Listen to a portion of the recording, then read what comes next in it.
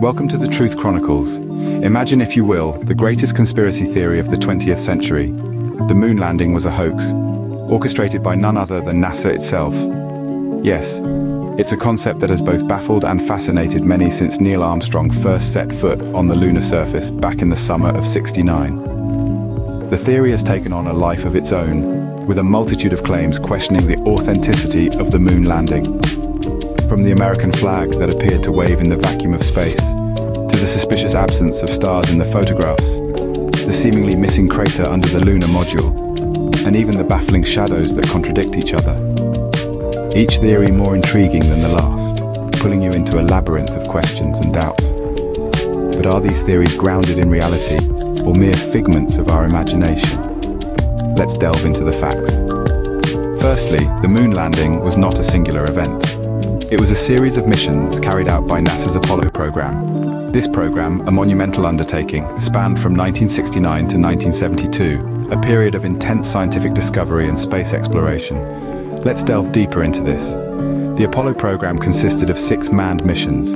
That's right, six separate journeys out of our atmosphere and into the cold expanse of space.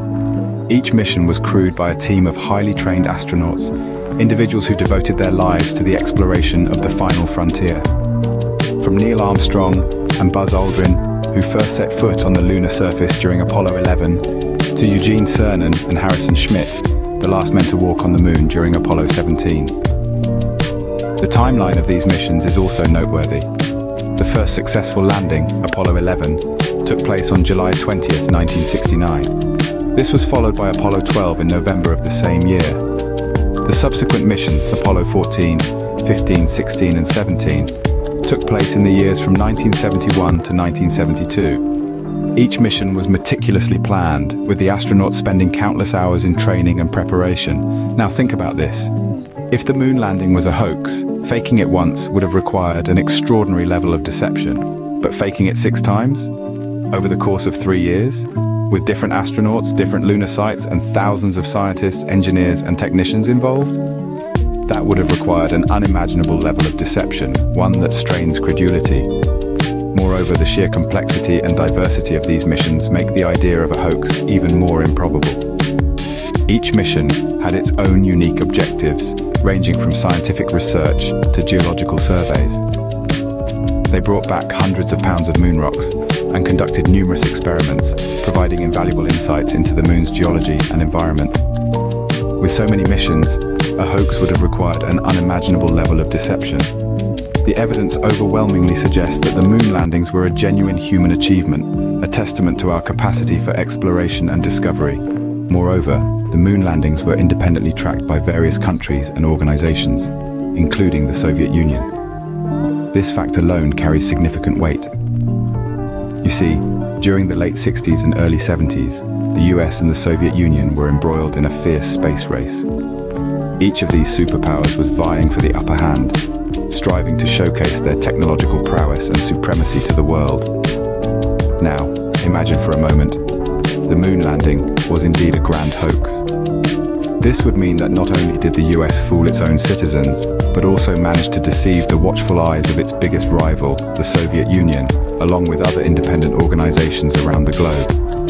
The implications of such a worldwide collusion are mind-boggling. In essence, we're talking about an elaborate ruse that would have involved countless individuals across multiple countries, all maintaining absolute silence for over half a century. A hoax of this magnitude would have required global cooperation, an unlikely scenario to say the least. Now let's tackle the theories head on and separate fact from fiction. Let's begin with the flag. One of the most frequently cited pieces of evidence against the moon landing is the American flags movement. Critics argue that in the vacuum of space, the flag should not ripple or wave. However, this theory neglects a key piece of information. The flag was designed with a horizontal bar at the top to keep it extended. As the astronauts planted it on the moon's surface, the flag naturally moved, giving the illusion of fluttering. There's no wind in space to cause an ongoing ripple, but the initial motion caused by the astronauts can make it seem so. Next, we move on to the stars, or rather, the lack thereof. Conspiracy theorists have been quick to point out the absence of stars in the moon landing photos as a sign of forgery. However, the reality is far less sinister. The cameras used during the Apollo missions had to be set to capture the bright lunar surface and the astronauts in their highly reflective spacesuits. The stars, while present, were simply too faint to appear in the photos due to this high contrast. Now let's consider the lack of a blast crater and the presence of footprints. Critics question how the lunar module could land without leaving a sizable crater, and how astronauts could leave such distinct footprints without moisture to hold the shape. Well, the answer lies in the moon's atmosphere, or rather, the lack of it. There's no air on the moon to lift and displace dust as it would on Earth. As for the footprints, lunar dust, also known as regolith, behaves differently than Earth soil. It is more compact and cohesive, allowing for the preservation of footprints. Finally, let's discuss the shadows. The seemingly inconsistent shadows in the photos have been a major point of contention. However, what appears to be inconsistency is actually a result of the lunar terrain and the position of the sun. The moon's surface is not flat, it's filled with hills, craters and rocks. These irregularities can distort shadows, making them appear longer, shorter or at odd angles. The sun's low angle also contributes to this effect. It's not a sign of multiple light sources as some claim, but a basic principle of photography and physics. As we delve into each theory, we find that they all share a common thread, a lack of understanding of the unique conditions on the moon and the technology of the time. It's easy to question things that seem out of place or counterintuitive to our everyday experiences here on Earth. But when we take the time to understand the science behind these phenomena, the so-called evidence of a hoax quickly falls apart. The moon landing was a monumental achievement of human innovation and exploration. It's a testament to what we can accomplish when we aim for the stars, or in this case, the moon. The theories surrounding it, while certainly intriguing, are based on misconceptions and fallacies. They may make for interesting conversation, but they don't hold up against the wealth of scientific knowledge and evidence. So, the next time you hear someone question the moon landing, remember the flag's design, the camera settings, the properties of lunar dust, and the physics of light and shadow. Each of these points, when understood correctly, serves to debunk the theories and reinforce the reality of this incredible human achievement. As we can see, these theories, while intriguing, fall apart under scientific scrutiny. So where does that leave us? Was the moon landing a grand deception or a monumental achievement of human ingenuity? Let's round up the facts. We have multiple successful missions under NASA's Apollo program, independently tracked by various global entities, including the then space race competitor, the Soviet Union. The flag, seemingly fluttering in the vacuum of space. It was designed with a horizontal bar to keep it unfurled. The absence of stars in the photographs, a result of the bright lunar surface, and reflective spacesuits creating a stark contrast. The clear footprints and lack of a blast crater, simply due to the absence of an atmosphere on the moon and the lunar module's controlled descent, and those tricky shadows. They're the product of the sun's angle and the moon's uneven surface, not inconsistent lighting. When we take a step back, look at the bigger picture and consider the sheer improbability of such a vast global conspiracy, the conclusion becomes clear. Ultimately, the weight of evidence heavily leans towards the moon landing being a genuine, historic event. Remember, knowledge is power. Our role is not just to question, but also to earnestly seek the truth. We're all astronauts on a journey through the vast cosmos of information, and it's essential to navigate this journey with discernment. Today, we've laid bare some of the most popular moon landing conspiracy theories. But this is not the end of our exploration. Let's keep questioning, probing, dissecting the world around us. But while doing so, let's not forget to anchor our curiosity in scientific facts and trustworthy sources.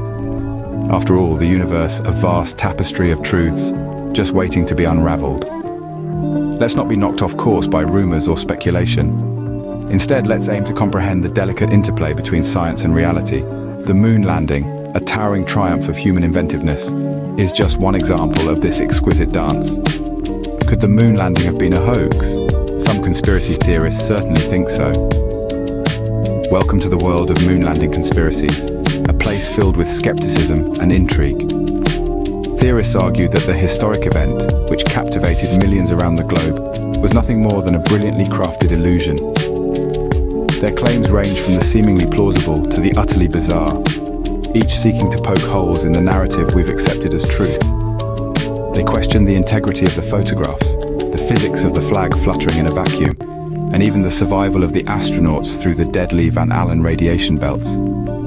Some argue that the United States, locked in a space race with the Soviet Union, had too much at stake to risk failure. But what does the evidence say?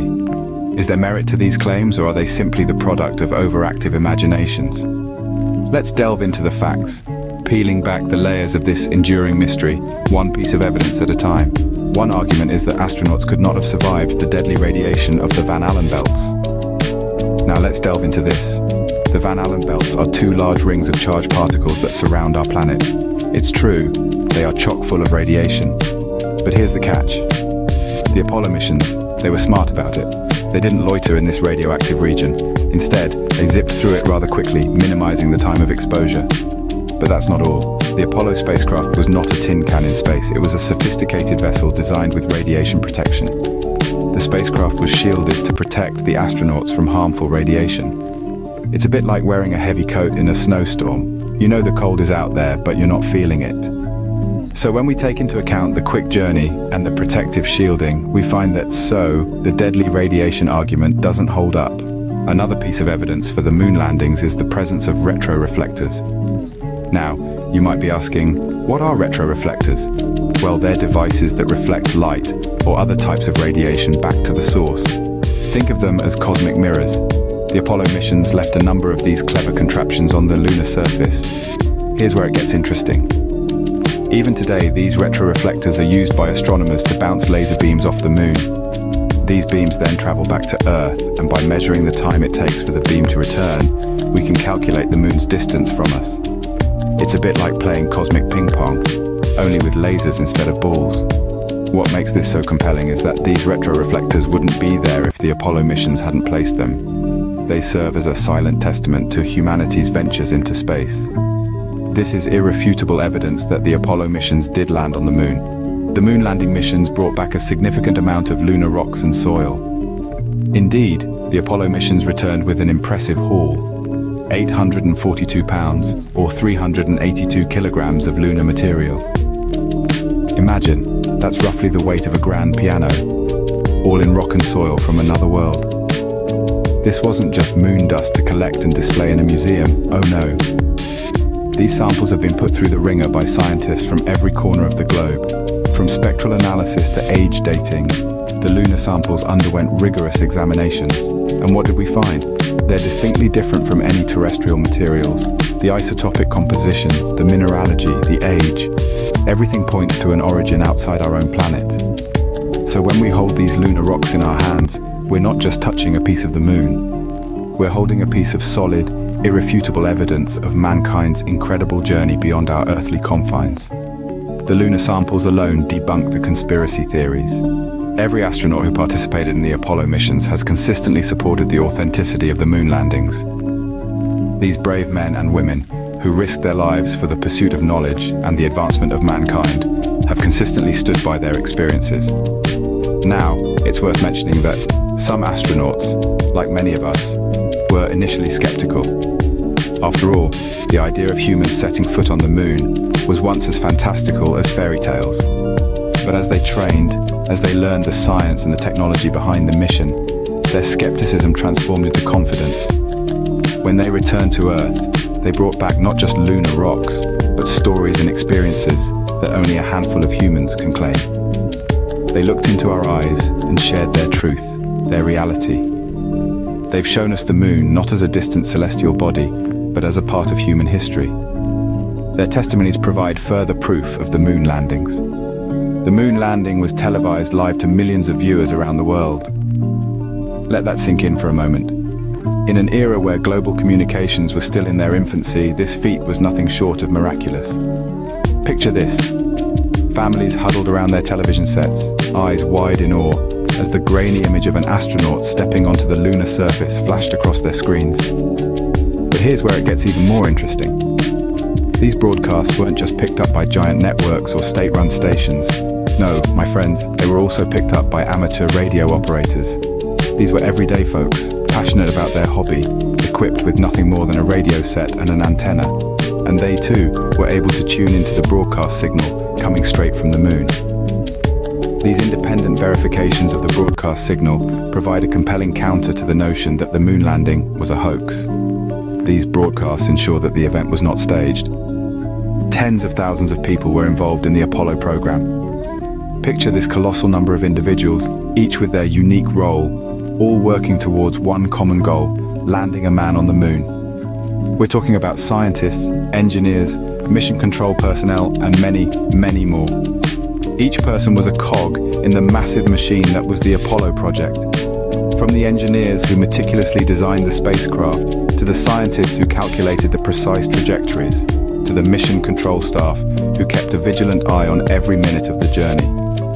Imagine orchestrating a deception of such a grand scale. It would mean that all these people, all these tens of thousands, would have had to keep silent about the greatest conspiracy of all time, not a word in over half a century. That's not just unlikely, it's virtually impossible. The sheer number of people involved makes a conspiracy implausible. While moon landing conspiracy theories continue to persist, they are largely debunked by an overwhelming body of evidence. As we've traversed the cosmos of this intriguing discussion, we've encountered a multitude of compelling evidence that supports the reality of the moon landings. Let's take a moment to orbit around these key facts once more. We delved into the ominous Van Allen belts, a layer of deadly radiation that some conspiracy theorists argue would have made the journey to the moon impossible. Yet we learned that the Apollo spacecraft passed through these belts swiftly, minimizing radiation exposure. Furthermore, the spacecraft was expertly designed with shielding to protect the astronauts aboard. We also explored the world of laser reflectors, those retroreflectors left on the lunar surface by the Apollo missions. These devices, still in use today, allow astronomers to bounce laser beams off the moon and back to Earth, measuring our planet's distance from its celestial neighbor.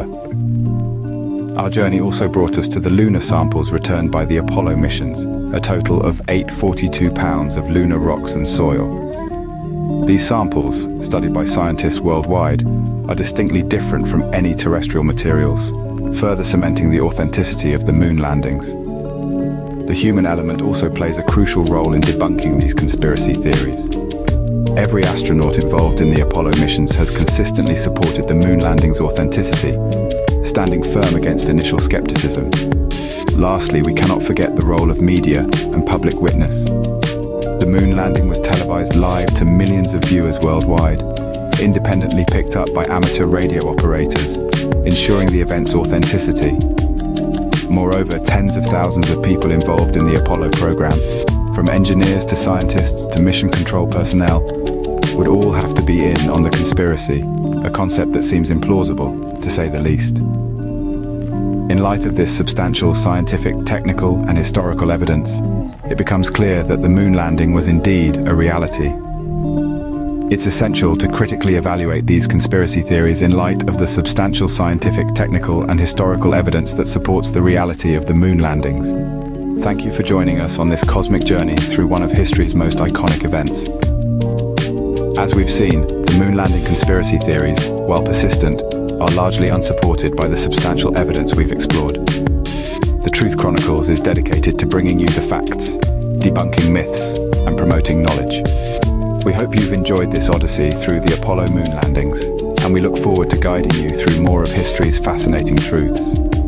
Remember to hit the like button if you found this video informative, share it to spread the knowledge, and subscribe to our channel for more content like this. Stay curious, stay informed, and stay tuned for more from the Truth Chronicles. Until then, keep questioning, keep learning, and keep seeking the truth.